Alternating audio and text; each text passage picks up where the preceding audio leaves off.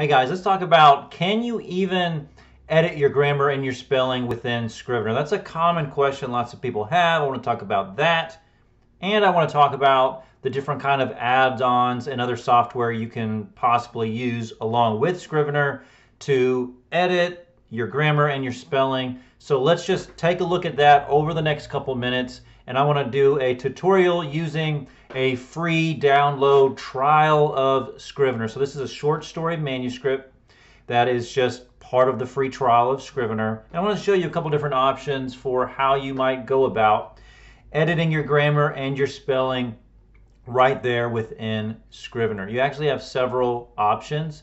One thing that you can do is that you can go up to edit right there at the top of the navigational bar. There's edit and you can scroll down to spelling Click that and you'll, uh, you'll set off the automatic spell check and grammar check within Scrivener. So that's an easy way to do it, but it's not the only way to do it. What you can also do is you can take any part of your manuscript that you're working with, you can select um, a paragraph or a section of the of the document that you're working with, whether it's a short story, a research paper, a blog or article, whatever it is you're writing, you can actually just select a portion of it like that, right click on your mouse, scroll down to spelling, start the spell check and the grammar check right there um, in that way as well. So those are two pretty simple options I think within Scrivener to do basic spell check. You can also highlight the whole document on Windows. That's Control A, highlight it, and then you just saw that you can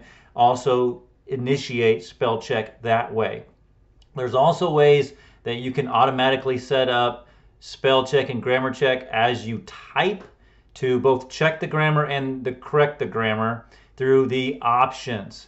Um, go to go to file and you go down to options and you can set that up automatically. Now within within Scrivener you can also select words, sentences, paragraphs, and even similar formatting. So you can select different pieces and parts of your manuscript to also spell check and grammar check. So I think that's pretty cool. Other things that you can do is you can actually remove spaces, multiple spaces, and take it down to one space, multiple lines, take it down to one line.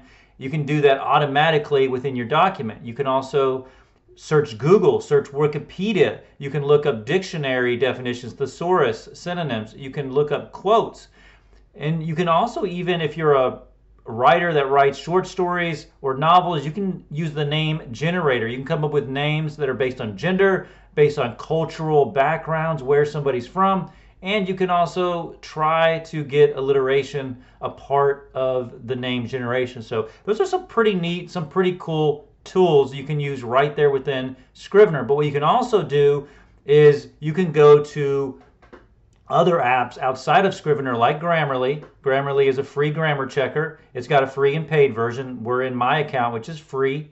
And although Grammarly doesn't sync directly to Scrivener, there is a workaround so that you can do this for free.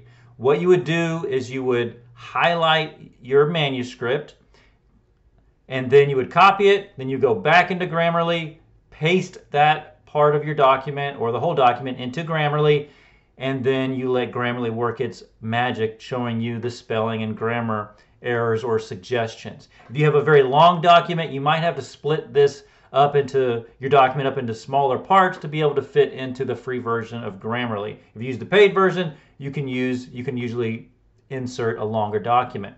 You can also do this with the Hemingway app and with Pro Writing Aid.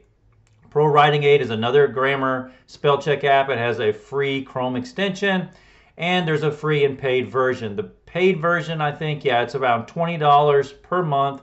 So it's not necessarily cheap, but if you edit a lot of, if you do a lot of writing and you need to do a lot of editing, it might be worth it for you.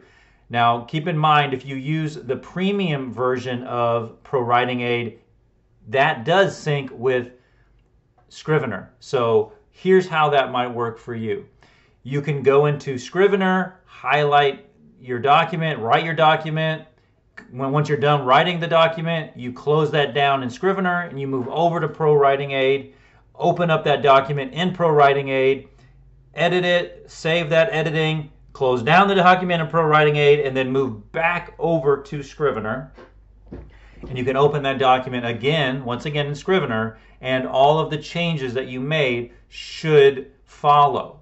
So that's how you can use Pro Writing Aid and integrate it within Scrivener. It does take a couple steps.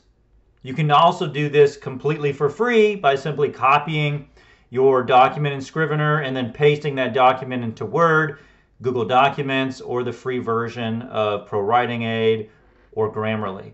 So you can do this for free. It takes a couple steps. You can do this with the paid premium version of Pro Writing Aid as well. So you have several different options. Okay, let's talk about some other features of Scrivener and maybe how you can use Scrivener to check your grammar and your editing, your spell check. Those are some of the main options, but I want to show you all the different ways that you can work with Scrivener because I think it's important. Now, I'm also writing an article about this on my blog post, and I wanted to share a couple add-ons that aren't that don't necessarily sync directly with Scrivener, but you can use them.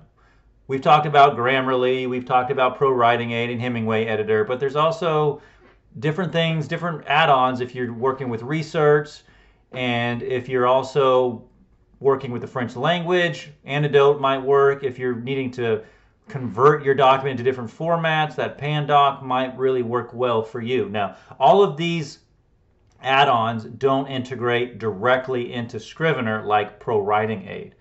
But they are applications that you can use once you're finished with your content in Scrivener you can use these other add-ons to work with your research, your citations, with different languages, and with converting your documents, and also to do some spelling and grammar check. So those are add-ons that other people, other users of Scrivener have said that they have been happy with, and I wanted to share those with you. But the, in summary, yes, you can definitely edit your grammar and spelling within Scrivener, but using some other outside apps can really help.